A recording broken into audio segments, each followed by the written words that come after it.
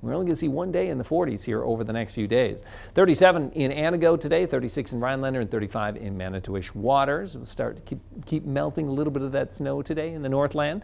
Uh, the snow's nowhere to be seen anymore here in Adams, 42 for today. It's uh, melted away from the southern part of the area, 40 for your high in Arpin, so a little spring-like here in the southern part of the area, and a lot of clear skies. Tonight, well, another wave of low pressure is coming in from the west, and eventually by tomorrow morning, we could have some light snow in the area probably some small accumulations, a half inch or something like that. Uh, then in the afternoon, it's going to be just kind of spotty little rain showers and drizzle. It's just going to be gloomy. Just get ready for it. I'm going to say gloomy for three days in a row, probably, well, until Friday afternoon. Yeah, uh, kind of drizzly tomorrow afternoon, drizzly again Wednesday night, and then we'll watch this next storm system come in from the west, and that will produce some heavier rain Thursday afternoon. Might be a little bit of flooding trouble in some spots because over a half inch of rain is possible. And then Thursday night into Friday morning, when that rain changes over to snow, it's looking like about two to five inches, mainly focusing in the northern part of the area. That's what it looks like right now. There might be a spot where we get over six inches, eh, a, a thin strip of some heavier snow in the northern part of the area.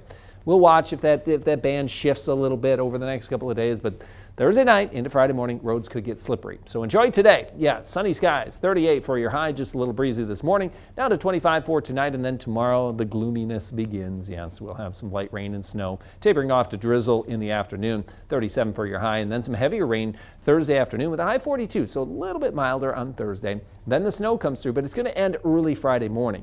Then windy with a high of only 28. You'd probably want your winter coat on Friday. Saturday, back to the sun with a high of 31, still below normal, and Sunday a little better with a high of 37.